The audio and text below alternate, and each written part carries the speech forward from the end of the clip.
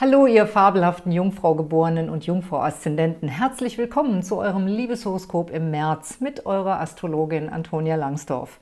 Begegnung und Partnerschaft sind auch im März für euch groß geschrieben und in eure festen Beziehungen kommt ordentlich frischer Wind. Falls ihr eine persönliche Beratung braucht, bin ich gerne für euch da. Ihr erreicht mich über meine Homepage. Da könnt ihr eure Wunschberatung gleich aussuchen und buchen. Den Link dazu findet ihr unten in der Videobeschreibung und hier auf der Infokarte. Auch im März gibt es bei mir nochmal ein Jahreshoroskop als Buch in der Verlosung zu gewinnen. Noch haben wir den größten Teil des Jahres vor uns und in diesem Buch habt ihr die wichtigsten Daten und Fakten des Jahres in schriftlicher Form vorliegen. Mehr dazu am Ende des Videos, also bleibt dran. Jetzt wollen wir in eure Sterne schauen. Welche langfristigen Tendenzen bei euch und auch im März wirken, das habe ich im Jahreshoroskop im ersten Teil ausführlich erklärt. Da könnt ihr dann gegebenenfalls nochmal reinschauen. Da findet ihr auch die Geburtstagskinder, die wichtige Aspekte direkt auf ihre Sonne empfangen. Und alle diese Infos könnt ihr natürlich auch im Buch nachschlagen. Bei den langsam laufenden Planeten haben sich nur diese Aspekte ein wenig vorgeschoben. Der Manifestationsaspekt von Saturn wirkt im März direkt auf die Geburtstagskinder vom 30. August bis 2. September und den Kreativaspekt von Lilith empfangen die Geburtstagskinder vom 4. bis 9. September. Sonst bleibt alles wie im Februar und wie im Jahreshoroskop beschrieben. Und das sind eure aktuellen Konstellationen im März. Zu Beginn stehen die Sonne, die Venus und der Merkur und außerdem auch Neptun und Chiron in den Fischen in eurem Partnerhaus und zwar für die zweite und dritte Dekade der Jungfrauen. Das ist sehr günstig für Begegnungen, Geselligkeit und fördert einen angenehmen Austausch mit Menschen, in denen ihr das Gute und das Potenzial erkennt.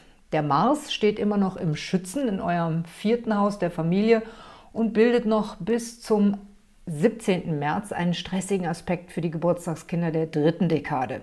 Ihr müsst also weiterhin mit unruhigen Zeiten bei euch zu Hause rechnen oder vielleicht habt ihr auch Probleme mit Handwerkern oder lauten Mitbewohnern.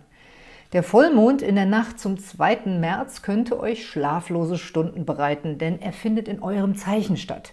Der Mond steht in der Jungfrau und gegenüber eben die Sonne in den Fischen und die ganzen anderen Planeten und das alles bei euch auf der Beziehungsachse. Wenn es gut läuft, habt ihr eine tolle Nacht mit eurem jeweiligen Liebespartner, denn die Sterne zeigen überwiegend harmonische Tendenzen, sowohl für die Jungfraugeborenen in einer festen Beziehung, als auch für die, die gerade einen spannenden Flirt angebahnt haben. Wenn ihr alleinstehend seid, könnt ihr gute Impulse für ein kreatives Projekt erhalten. Insofern ist dieser Vollmond sogar ein Top-Tag für euch. Allerdings kann der Aspekt von Mars auch dafür sorgen, dass ihr den Vollmond nicht recht zu zweit genießen könnt, weil Familienmitglieder anderes mit euch vorhaben. Also schaut schon im Vorfeld, dass ihr zu Vollmond Zeit für euch und euer Vergnügen habt. Auch am Dienstag, den 6. März, haben wir einen Top-Tag, wunderbar für Liebesgeflüster und süße Nachrichten. Aber auch im Zusammensein mit kreativen Freundinnen würdet ihr viele gute Impulse erhalten. Am gleichen Tag wechselt der Merkur das Zeichen und geht in den Widder, gefolgt von der Venus am 7. März. Dieser Übergang kann frischen Wind in eure festen Beziehungen bringen. Bis zum 10. März habt ihr ein paar schöne Tage, um euren Schatz mit einer ausgefallenen Idee zu überraschen oder zu einer neuen Unternehmung anzuregen. Danach bilden die beiden Planeten leider stressige Aspekte für den Rest des Monats und zwar zu den Planeten im Steinbock, die ja eigentlich für euch recht günstig stehen. Das könnte zum Beispiel ein Konflikt sein, weil eine Unternehmung mit einem festen Partner mit euren eigenen Projekten kollidiert. Es kann gut sein, dass ihr euch für euren persönlichen Weg entscheidet und Freiraum braucht. Auch die Lilith erzählt mir das hier.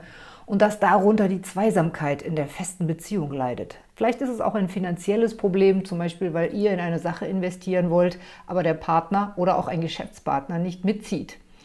Egal, wie sich diese Aspekte im März bei euch äußern, im Zweifelsfalle wartet einfach noch ein bisschen ab, denn ab April geht die Venus dann wieder in einen deutlich besseren Aspekt zu eurer Sonne und dann lassen sich diese Dinge auch wieder unter einen Hut bringen.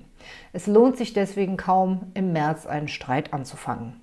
Ihr seid doch so umsichtig und könnt gut planen. Vielleicht könnt ihr das einfach aufteilen und Zeiten für euren Schatz reservieren und Zeiten für euch selbst, damit sich das nicht zu sehr ins Gehege kommt. Der Neumond am Samstag, den 17. März, ist sehr interessant für euch, denn er findet in den Fischen statt und damit in eurem Partnerhaus und in Verbindung mit Heilerplanet Chiron, der ja von den modernen Astrologen der Jungfrau zugeordnet wird. Ihr könnt diese besondere Energie für verschiedene Themen nutzen, Einmal natürlich, um neue Impulse in Partnerschaftsfragen zu erhalten, aber auch, wenn ihr euch mit den Themen Heilung und Spiritualität beschäftigt, kann dieser Neumond sehr wertvolle Eingebungen für euch bringen. Ihr könnt auch beide Themen verbinden und über Wege zur Heilung von Partnerschaftsproblemen nachdenken.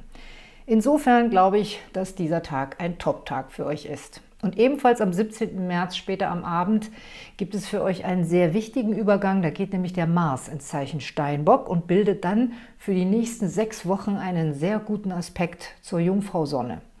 Er bringt euch Kraft, Schwung und Tatendrang beim Manifestieren. Der Mars wird nach und nach erst Saturn und dann die Lilith und dann den Pluto aktivieren. Das sind sehr intensive und kraftvolle Energien, die glücklicherweise zu eurer Sonne in Harmonie stehen. Aber der Mars ist eben auch die Kraft des Egos und wird euch wahrscheinlich anstacheln, euer eigenes Ding zu verfolgen. Ich finde das ja gar nicht schlecht, denn Jungfraugeborene sind häufig damit beschäftigt, sich um andere zu kümmern. Jetzt ist es an der Zeit, dass sie mal etwas für sich selbst tun. Das gilt im März zunächst für die erste Dekade des Jungfrauzeichens. Leider bildet der Mars für den Rest des Monats März allerdings ziemlich stressige Aspekte zur Sonne und zu Saturn. Am 20. März um 17.15 Uhr geht die Sonne dieses Jahr in den Widder und dann haben wir Frühlingsanfang. Doch die Frühlingsgefühle könnten etwas im Stress untergehen. Am 23. März wird der Merkur rückläufig auch im Zeichen Widder und die Rückläufigkeitsphase dauert dann bis zum 15. April. Alle diese Konstellationen können noch einmal die Probleme verstärken, wo es darum geht, wollt ihr euch für euch selbst und eure persönlichen Anliegen einsetzen, wollt ihr manifestieren und eure Kreativprojekte voranbringen oder wollt ihr euch in eurer festen Partnerschaft einbringen? Und dann müsst ihr das mit etwas diplomatischem Geschick so regeln, dass ihr die Marskräfte bestmöglich nutzen könnt, ohne euren Schatz vor den Kopf zu stoßen. Ihr könnt ja die Ostertage für die Beziehung reservieren.